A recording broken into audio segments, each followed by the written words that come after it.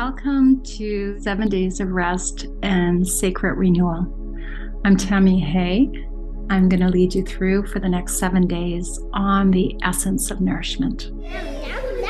Each day, we're going to focus on a different part of nourishment, kind of nourishment I give my beautiful grandchildren and for the next seven generations, if this shall be here we are in these precarious times and potential food shortages and world hunger. I want to invite you on a journey of allowing ourselves to find ways to grow and plant and sprout food that not only is some of the highest biodynamic food on the planet, but also is very gentle with our finances. Thank you for the avocado. What are we going to make with that, honey? Guacamole.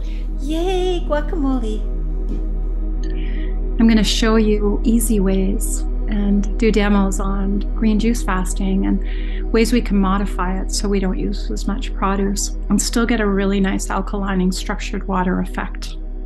I'm going to join together with some friends and we're going to give some demos on food made easy and what people are doing around the world to turn maybe traditional recipes into plant based living food recipes, highly nutrient dense recipes. I invite you to join me on the seven days of rest and sacred renewal as we walk through seven days of the essence, the generosity, the clarity, the kinship, the stuff that we need to feel well.